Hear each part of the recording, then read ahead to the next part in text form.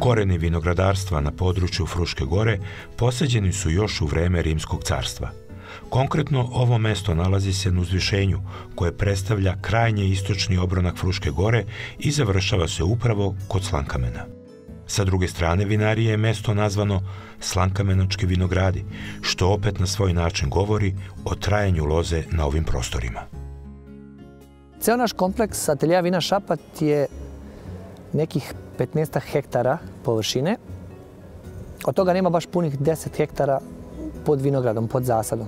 Da bi se ovaj ceo kompleks sastavio, kupljena su 47 placeva od 27 vlasnika i to je sve sastavljeno u jednu celinu. Od tih nepunih 10 hektara, naš najstariji zasad je osma godina. Odnosno, ovo je peta berba koju smo mi trenutno obavili i uradili.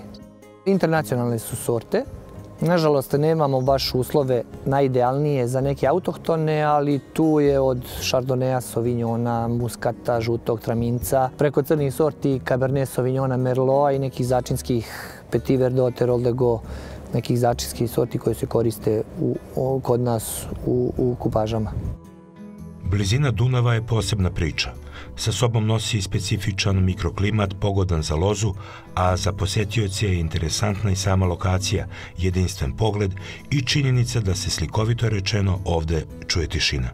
O vinogradima računa vode stručnjaci, a jedan je posebno zaslužan za karakter vina dobijenog od ovde gajenih sorti.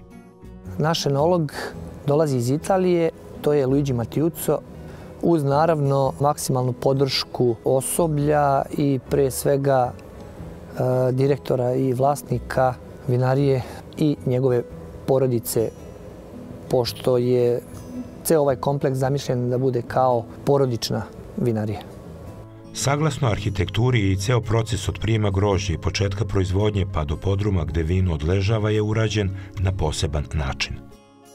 Ispred vinarije nam dolazi grožđe iz vinograda, prva mašina je muljača ili separator.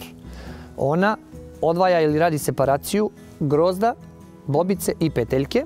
Monopumpom ubacuje se u presu, presa cedi grožđe i dalje cevima, pumpama ide u sudove na fermentaciju. Nakon završene fermentacije, vino ide u sud za hladnu stabilizaciju, gdje se prekida fermentacija, radi se filtriranje vina i vino ide u punionicu na flaširanje.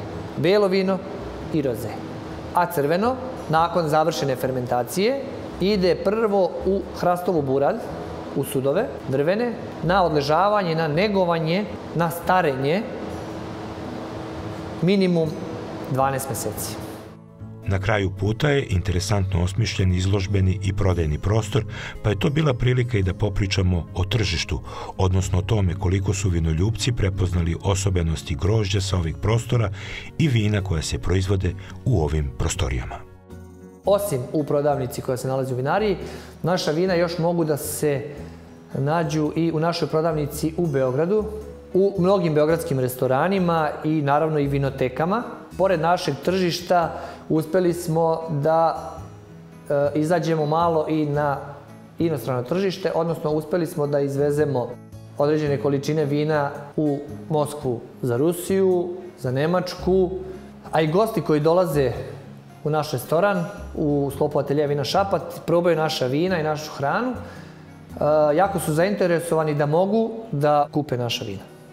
Jedinstven ambijent je i u restoranu gde stručnjaci druge branše spremaju hranu koja će biti u skladu sa onim što dolazi iz vinskog podruma. Naš domaćin kaže da je spoj hrane i vina i njihovo uklapanje posebna umetnost. Vreme je brzo prošlo i kada smo izašli, nad vinograde je već pao prvi mrak. Tišina koja se čuje sa početka priče dočarala nam je jedan potpuno nov doživljaj. Ton našeg govora koji smo snizili na nivo šapata čuo se daleko u okruženju, možda čak i preko Dunava.